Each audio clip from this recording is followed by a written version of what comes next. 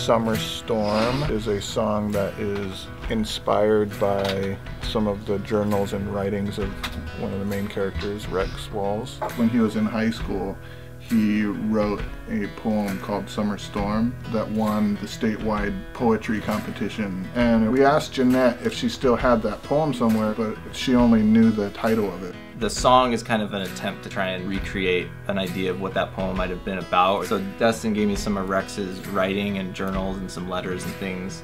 I sort of went through that and went through the book and just tried to get a little bit in his head. When Jeannette came and visited, Joel played it for her and she was really touched by the song. And she took the lyrics back to Rosemary and when Rosemary read it, her reaction was, sounds like Rex. They burned that hillside black.